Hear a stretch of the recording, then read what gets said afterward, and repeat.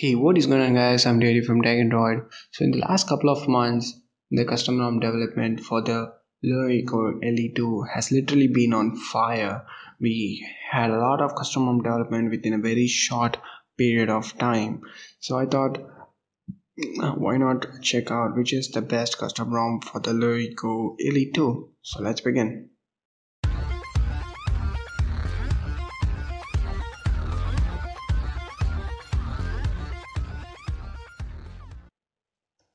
So if we take a look at all the custom ROMs that are available right now for the LeEco LE2, all of them are based on either Marshmallow or Nougat.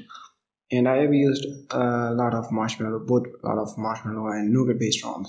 And what I observed is that uh, uh, Nougat based ROMs tend to have battery life much better than uh, Marshmallow based ROMs. In fact, the battery life is uh, closer or at times better than what we got on EUI, but Marshmallow ROMs tend to have really, uh, you know, battery life tends to be much, much, much lower than what we got on both EUI and Nougat based ROMs.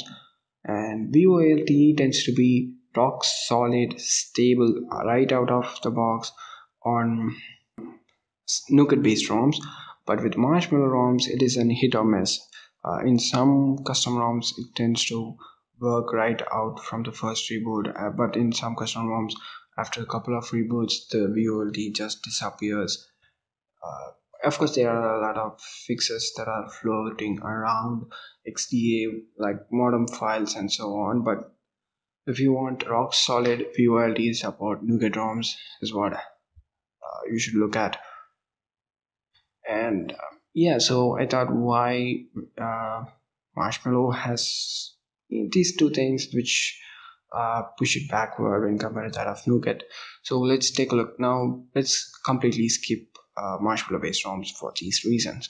Now, if we take a look at Nougat based ROMs, we have a lot of ROMs, of course. Uh, but I personally tend to prefer Lineage OS 14.1 over other ROMs because um, it's snappy, solid performance, uh, no bugs, no app crashes except for the IR Blast is not working. But that is the case with any other custom ROM that is available right now for the LeEco LE2. And also one more reason is that so um, all the other custom ROMs that are available right now are based on Lineage OS 14.1 only. So if a new update like a security patch update or a new build with an IR blaster fix comes up, it is going to be showing it will show up first for the lineage OS 14.1 only then other ROM developers will adapt it to their ROM. So uh, yeah that is one more benefit.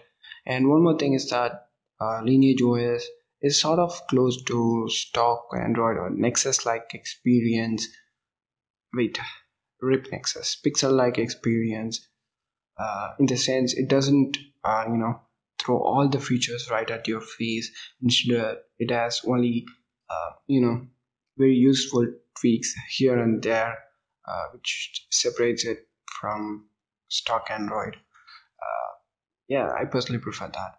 So yeah that's pretty much it. I think that lineage os 14.1 is the best custom ROM according to me of course your requirements may vary. So what do you think is the best custom ROM for the LeEco LE2 leave them in the comment section below.